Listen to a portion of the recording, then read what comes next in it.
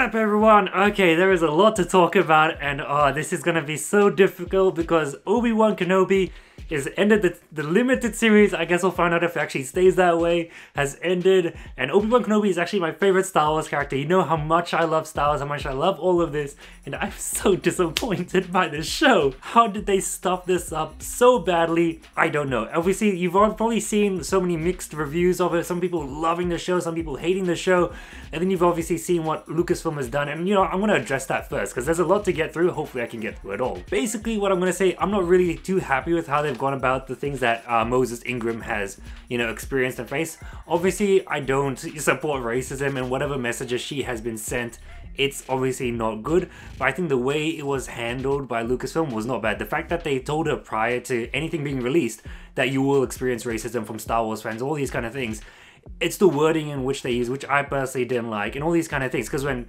especially the hypocrisy you see with Lucasfilm and what they've done with posters, just Disney in general, I guess, what they've done with posters and marketing, all these kind of things.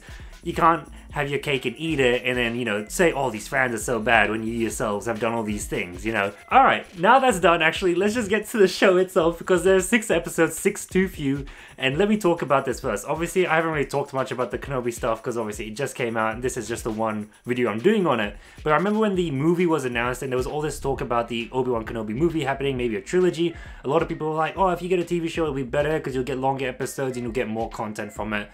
But this should have been a movie in my opinion. You should have cut out, like, fact, I've got, I've got the episodes here. Let's see quickly. Five to eight minutes or so of like credits, roughly, for each episode. So I'm going to take out the credit time, roughly, uh, for each episode. So the first one's 15 minutes, roughly. Second one, 39, 38 minutes, we'll say.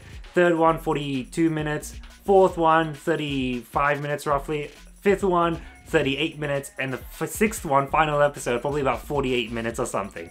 So not one of the episode content-wise is over 15 minutes itself. Heck, especially when this came out alongside Stranger Things and you have episodes for up to one and a half hours around that time itself, this pales in comparison. This is especially when you look at how bad episode 4 was, which I'll get to eventually. Content-wise, this show, the episode should have been really long and really detailed onto Kenobi and his journey itself. I personally, when I remember hearing, oh, we're gonna get the rematch of the century between Anakin, and Darth Vader, and Obi-Wan, I was like, oh, okay, I'm not too sure about that. I don't like the meaning again. And everyone's like, oh, it's gonna fix potholes. It's like, now people are saying, oh, it makes sense why Obi-Wan refers to Darth as Darth in A New Hope. And I was like, yeah, I kind of just accepted the fact that he viewed Anakin as dead and all this kind of stuff before I didn't need to see it and this show doesn't fix a plot hole because there was already a 20 year gap roughly 19 20 years that was between the two movies. So I already had that fixed. I was like yeah that's plenty of time for him to accept what's happened and everything. But I'm getting way ahead of myself. We have five other episodes to go through. So I personally didn't really hate the first two episodes. Yes I kind of like didn't really like the way it went with Obi-Wan being the way he was. I thought it should have been a um, introspective look at Obi-Wan itself. I don't even know if that's the right word, but just, you know, more of a character study as a lot of people have said of Obi-Wan, you know, studying, training with Qui-Gon, which I will say now before I forget, the cameo at the end was bad. With the canon itself, Qui-Gon couldn't become a Force Ghost, and also Qui-Gon wouldn't talk like that. It took you long enough. Have you even watched The Phantom Menace? Like, that's not how Qui-Gon speaks. so having him come back, you know, sure, it's fun, it's cool, he should have just been a voice because I don't think he could have completed his training to become a Force Ghost as we've seen in the Clone Wars and everything. And we already know, despite having a story group which like keeps the canon or whatever, Lucasfilm Disney don't really care about it because they did the same problem with the Rise of Skywalker with all these Jedi voices coming back. Yeah, the chase scenes were really bad. The rooftop shootout scene, somehow Obi-Wan didn't get shot and then somehow he managed to get off the roof even though there was still a chaser with him and all this kind of stuff those were just really bad. And you can probably see people rip it to shreds already online. But otherwise, I kind of enjoyed everything else more, more or less enough that I really didn't hate the show right off the bat. I thought it was fine because half of it was good, half of it was bad. And by good, I mean tolerable at best because yeah, the the lightsaber reveal is like, why are you dressed like a Jedi, man? Don't dress like a Jedi. What are you doing? Don't look like that. Don't show off your lightsaber. How can you not reach out with your arms and reach Leia? Yeah, she was a nice surprise to be in the show itself, but it kind of just didn't make sense why Organa got Obi-Wan to go get her when it would have made more sense for him to get, you know, Bounty Hunter or someone else to go get her because you know she's already in the limelight. It's not like we're hiding the fact that she's our daughter. No, she's out there. She's your daughter. She becomes a senator later on. You're not hiding the fact that you have one. So her kidnapping going public really wouldn't matter, especially because I'm sure once it's revealed, if someone finds out that the Empire kidnapped her, they would probably just put it on the rug and, you know, publicly wouldn't matter anyway. So they're going up over to episode 3 and 4. We have that lady from Game of Thrones come in and uh, she was fine. I'll get to her death later, but yeah, she was fine in an addition into it. Um, Obi-Wan and Leia, I love their chemistry. They're really good, really tied off this whole, you know, parent and child kind of story going on. But otherwise, their chemistry is there. Leia's a great actress. And Obi-Wan, some parts he's really wooden in this show, Ewan McGregor, but other parts he really kills it. So this episode, these two episodes were kind of annoying. They were kind of really slow, and you obviously have the fight with Darth Vader, which was so bad. Like I know we're having Obi-Wan be really weak, especially considering within the space of like two days he suddenly is able to de- defeat Darth Vader. But um, you know, having him being really weak, being really weak. But I have this problem with this episode and the fight later on. The camera work, cinematography is really bad. Like I don't know, especially like when you say, oh, it's the rematch of the century, all these fights are going to be really cool, all this kind of jazz. And you look at the concept art and it looks cool. But then it has no level of like this, you know, the environment isn't there, the atmosphere isn't there, the music isn't there for like all these epic moments. Even if, you know, having Obi-Wan be lost and, you know, fearful of Vader, having him being burnt was really cool, but then having Darth Vader just let him go, even though he was supposedly not actually letting them go, it's it's a real mess, and that's one problem I have. The writing of all that's going on is just so messy and poorly done. In episode 4, I think 90% of people shit on it because it's such a bad episode.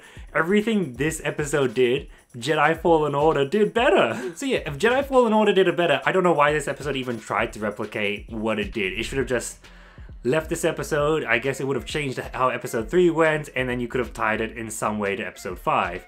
But the fact that they went, this is one thing I also didn't find, find hilarious. So from episode 4, they end up going back. Wade died, no one gave a shit anyway, and the CGI was really bad. There was a lot of problems with the show. But yeah, going from episode 4 to 5 when they go back to the Rebel base, or I guess the pathway, whatever it's called, there was a second ship because we find out when Darth Vader's coming ripping sec the second ship apart. There's a second ship that takes off and they leave in it. Why didn't you go in that second ship in the first place? Why didn't you get all those people that were waiting for you for that first ship, get them to go into that second ship, go to wherever they have to go? Not all three of those people that went to go and save, uh, pick up Leia and Obi-Wan and everything. Obviously the trench coat was shit as well. There was a lot of problems. Lightsabers not cutting through Stormtrooper armor and that. Oh, Reva tries to interrogate a 10-year-old child and fails. How am I supposed to care?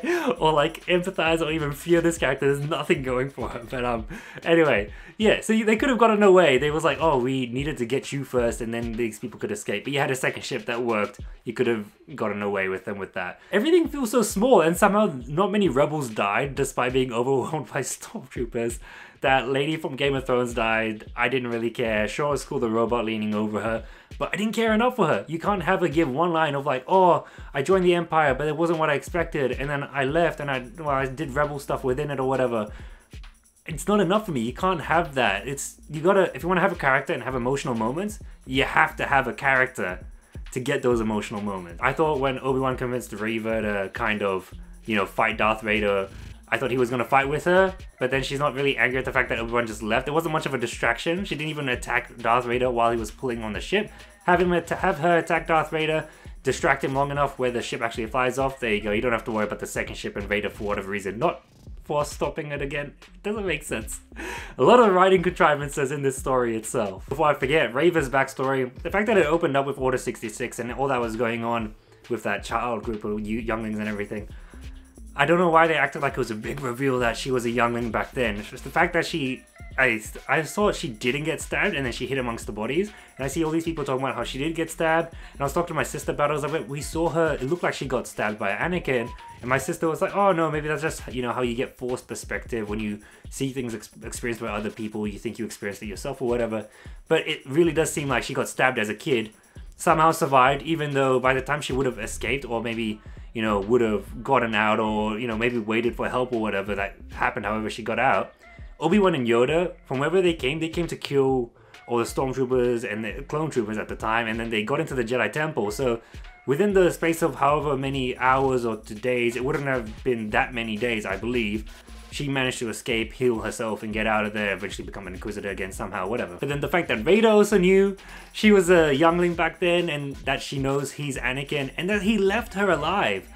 Uh, it doesn't make any sense. Vader, we've seen in other canon stories, wouldn't leave someone who knows his original, like his identity, alive. He kills them immediately. He killed a bunch of storm clone troopers. He killed Jocasta Nu. He killed a whole bunch of people if they know his identity, and that's a huge thing because Anakin Skywalker's dead, and he doesn't want that going out that he is Anakin Skywalker. All this kind of stuff going on, and he lets her live. The uh, Grand Inquisitor is like, the revenge is a very powerful weapon to keep one alive. You giving her motivation for revenge, and you're keeping her alive. You're such an idiot. Oh god, uh, that was something else. What I'm talking about now with this final ep- final episode itself, a lot of people have really enjoyed it, and that's cool. If you really enjoy this rematch of the century, I think objectively you are wrong in thinking that it is a really good fight. But then you might have just enjoyed the episode itself. I will say half the episode is good, um, good enough, better than the other episodes as well, especially with, and that's mostly focusing on the Obi Wan Darth Vader thing. Because Anakin bringing Hayden Christensen back, and you have him in one flashback, and that alone is just this fight, which just correlates only with that one episode itself and doesn't really add anything else to the overall you know relationship the two have. You bring um, Temuera Morrison back as a clone trooper, which is a great cameo. But then you know why not just put him in a Cody armor or put him in a Captain Rex armor? You know you already have a live action Ahsoka, so there's no fear in getting a younger live action Ahsoka and giving us a Clone Wars flashback, something which would add more to that relationship of that brotherhood kind of relationship, more so than the master apprentice kind of relationship that we had in episode 2. People will say, oh, it's fan expectations this, fan expe- expectations that. But, you know, in the marketing and everything that we have provided, you know, the fact that they have Hayden Christensen come back and he has like five minutes of screen time across the whole series itself, and I'm not like he was barely in the suit for most of the series itself. He has that one sliced face in the final fight. He has that what 15 seconds where he's in that Jedi robe and then a flashback. And I guess you can count the bacta tank stuff, but let's be honest, that's you could have got some other actor, put him in makeup, and that would have worked out as well. But anyway, to the final episode itself, the fight. I do think there were emotions there. Some of the lines, you know, great callbacks, some of the actions, great callbacks and everything like that. Especially like even to the previous episode, they had them on their backs to one another, and they I think they did really similar moves to what they did in the training or something. Um, those are really nice things to see, but it was filmed so poorly. The direction, the cinematography, like everyone's like, you know, everyone knows for whatever reason Disney doesn't give a budget to their Star Wars films. It's so clear. Like the fact that they're filming so many in um, desert planets or open fields or something like that. The volume makes everything look so small. The rematch of the century. We're talking about a rematch between two people that fought on a lava planet. And with George Lucas, he had the environment, the music, all these things play an important role in enhancing the visual, you know, fight that you saw. But then, what do they do here? They just have it, okay, you know what? We need this rematch of the century in a cool location. How about we just go for like a deserty rocket, rocky planet at night and that's that you know that adds so much to, the fight environmentally wise and all this kind of stuff they can throw rocks. That's so cool isn't it? It's not. Like come on the environment itself everything that was set up for that fight was poorly done. It was filmed in a really poor fashion. And yes there were some moments in which there were cool movements and you know combat abilities or whatever shown between the two of them but then there were other moments where they were swinging the lightsabers like bats, or when Darth Vader pushed Kenobi against the wall and then they both fell. I was like, what are you guys doing? Oh man, like the energy just wasn't there 100%. It was cool to see, you know, Hayden Christensen's face with the cut off mask and everything, but then Rebels did it better. Like the way Obi Wan cuts his mask off as well is so weird to see. And yeah, I knew the motion there was cool uh, and everything like that. But there was just so much wrong with the fight as well, which you know, while there were cool parts, there was just terrible parts. And then you have it intertwined with Reva somehow getting off um, the wounded planet she was on, getting to Tatooine, and then fighting Owen and Brufast. She should have eased, like, even though she's wounded, all she had to do was just, like, force choke one of them or force pull them down, and then just kill them. And I don't get why she waited till night. You know, she's like, okay, maybe she took a long time for whatever reason to get to the, you know, homestead or whatever but then Owen and Luke were already in the same town as well, and presumably got there after Reva did. So if Reva found out his location, she should have maybe got to that place and scouted it and just watched to see what happens before she attacked. or she just dilly-dallied until nighttime and then went. It doesn't really make much sense. And also Beru's like, I'm not leaving my home. Where are we gonna run off to? Like the desert or whatever? But then what that happens in the plan itself is like once Reva gets past Owen Beru, she tells Luke to run off to the desert. so he still ends up running off and he would have been better off just actually leaving the home. It's funny as well how Bail is like, what about your duty to the daughter? You know, Luke, it's not about Luke, it's not about the boy, it's all about you, all this kind of stuff. And then he gets Obi-Wan to leave Luke and then Luke ends up being in danger. And then for some reason at the end of the episode, Obi-Wan once again leaves Luke alone to go to get the droid back to Leia. And it makes no sense. And the fact that he actually, actually remembers him, knows him as Obi-Wan, all this kind of stuff, it just creates more of like a plot hole, I guess. Even though like they might have addressed, I wouldn't say they're plot holes because obviously there was, like I said, this 19 year gap between the two movies. You could have easily like been like, oh, okay, that's why Obi Wan acts like this, calls Vader this, or acted like this, or that's why Anakin has a scar on his head. All these kind of things. That's fine because there was this 20 year gap. So when you start to address them, you got to watch out for what other plot holes you create the fact that Obi-Wan let Darth Vader live, even though he said, I'll do what I must. Again, like, he thought he killed Anakin in episode 3. He thought he left him there to die, to burn, and he couldn't bring himself to give the final blow. Understandably so. That's why he's surprised when he finds out he's alive in this series. But then you can't have him decide, I'm gonna kill you and I've accepted that you're Darth Vader, and then just leave him to stay alive and then walk off. Like, if you really wanted to, you could have had some natural calamity occur between the two. I told my sister this. Or while he's fighting Darth Vader, he senses Luke is in danger, and he has to decide between fighting Vader, trying to escape, and then trying to get to Luke, or does he finish off Vader and let Luke, whatever. And then obviously Vader would try to overpower him, and it makes more sense for him to go to Luke. All that kind of stuff. You play it out however you want to write it, write it like that. But you give it a reason for what why it has to occur that way. You naturally make it like that instead of just writing Obi-Wan beats Darth Vader and then decides not to kill the enemy which he set out to kill at the start of the fight and everything like that and end the galaxy's war, whatever Imperial thingy, and just walks off. But yeah. So then, and then he's like, I trust Bail, I trust um, Owen and Beru to look after Luke, but they didn't look after Luke. You know, you can't just leave Luke again at the end of the episode. It's it's a huge mess. And yeah, overall, it's like a 5 out of 10 for me, the show. Some good moments there, but too many poor ones. Whoever wrote this was, uh, you know, you're a real idiot if you wrote this stuff thinking it's going to be good. And yeah, Disney, Kathleen Kennedy, yo, you guys messed up big time. So yeah, I've probably been ranting for like 15 minutes or something like that. I don't really know. But uh, I've there's so much I would love to say about this show. Hey, I forgot I took out these comics because guess what? I actually read actually have comics of Obi Wan's journey and stuff like that between episode three and four, and it's not not like they had material to work with and all these kind of stuff. And he had does have his own little journey.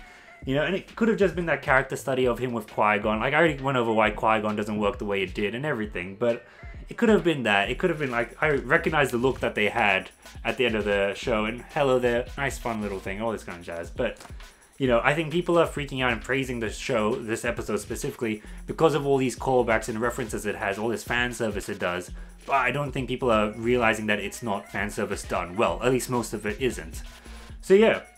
Otherwise, those are my opinions on it, uh, on the Obi-Wan show. Let me know what your thought about it. Um, hopefully it's a little bit more positive than mine, but either way, Disney's making money. They're obviously not putting much money into what they make, but uh, either way, they need to work on these content more. I'm excited for Andor. It looks gooder, uh, but you know, now I'm kind of cautiously optimistic. So thank you for watching. Hit that like button, and until next time, I'll see you.